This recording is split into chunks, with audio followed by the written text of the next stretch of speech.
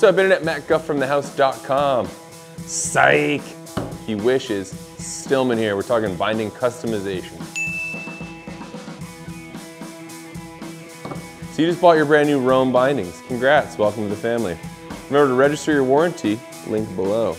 So what I would advise you to do is take a minute, grab your boot, plural, and we're gonna go ahead and plunk those into your bindings and just make sure that we have your straps um, in the sweet spot. And you know, that's the first step of customization here is just making sure you obviously have the right size of bindings to boots and then adjusting your straps from there. So the best thing to do is loosen up this little piece right here on your ankle strap, open up your auto strap fully, and we're just gonna slide this around until we are basically centered on the boot and we're gonna slide it in.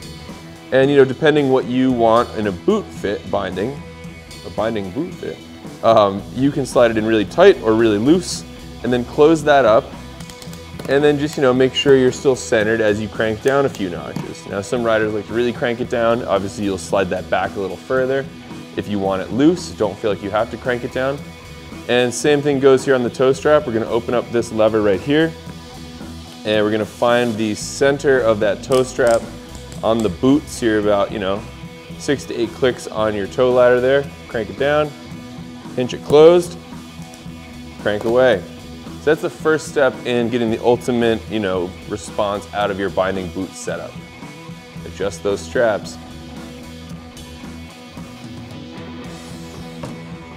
All right, so you got your straps in order. Now the next thing I would encourage you to do is check out your forward lean adjustment or your FLA. So all bindings on the high back will have a forward lean adjuster. And the key here is you're gonna wanna know your riding style and what you're looking for in a binding. So you'll just pinch this open and now you can see we have a full array of movement. If you wanna have you know, maximum forward lean, put it here at the bottom. And so this is all about the most responsive setup possible. As you can see that angle is pretty damn serious. A lot of pipe riders, people who wanna keep a little bend in their knees are gonna be down here. You know, people who want a little bit more playful of a feel are probably gonna be up top there we don't all need forward lean in our bindings, but if you want it, it's there, and it is at the tip of your fingers.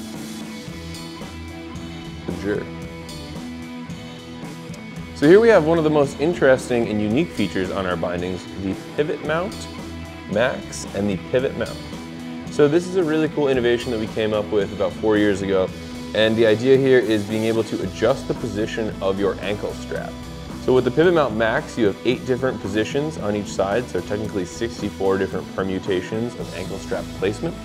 And with the Pivot Mount Regular, you have four different permutations, so um, you know, four times four is 16. You have 16 different configurations as to how you can position this strap.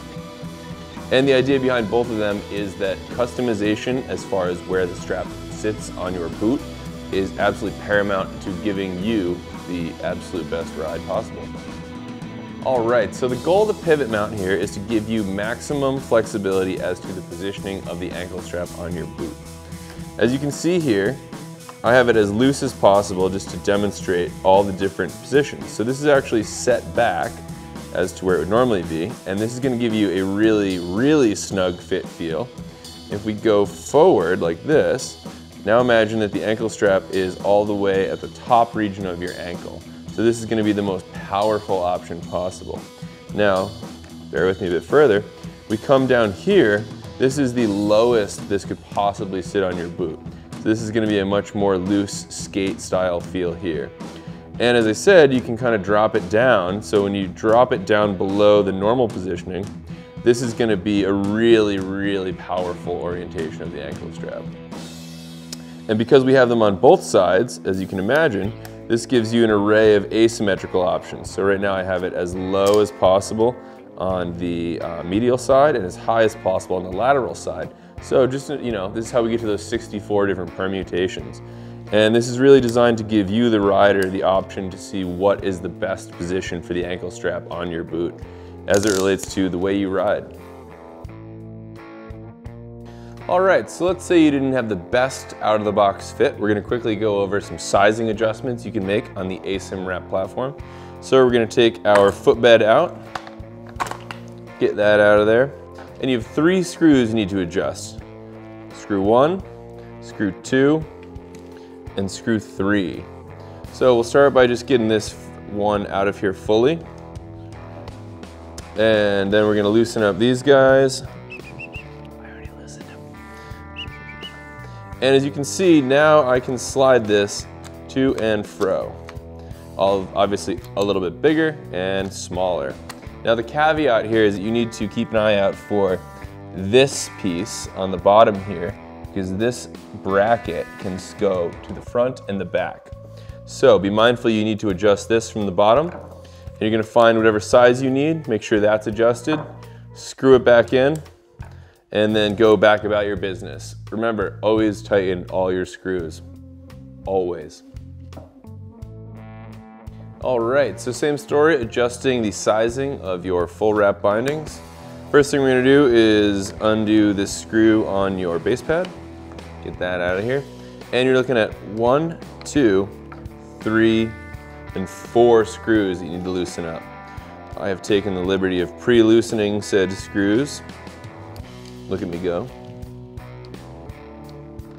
And then we're gonna be able to slide freely. So this will be your larger size and then slink it back in there if you wanna get a little bit smaller.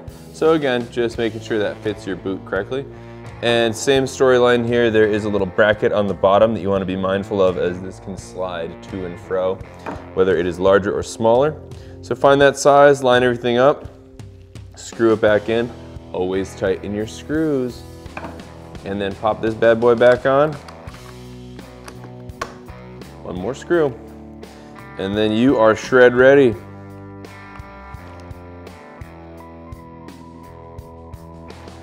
Alrighty, so now we're gonna talk about how to get the most out of your high back. And one of the things that we really pride ourselves on, we feature in almost every one of our bindings, is high back rotation. And the idea there being is getting the maximum amount of energy transfer, all of the power generated from your riding into your bindings.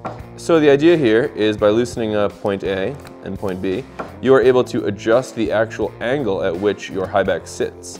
And the idea here is to have it mirror your heel side edge as to maximize power. And in order to do that, you just keep those loose, mount to your binding on your board, and then find which setting is the closest to your heel side edge. So as you can see, this is our out of the box configuration. That high back is you know, mirroring the angle of the underwrap here. And I'll just go ahead and adjust that and show you what rotation really looks like. And so as you can see, now I have rotated the high back and it is much more angled in a parallel manner to my heel side edge here. And like I say, all about power transfer, maximum energy going from point A to point B, and point C is, you guessed it, the hill. Let's go. All right, so that is your customization overview from the Rome Binding crew. We believe customization is paramount to making the best days on hill even better. That's why we make the most customizable bindings in the market. So any other questions, drop them below. Otherwise, we'll see you on the hill. Thanks for watching.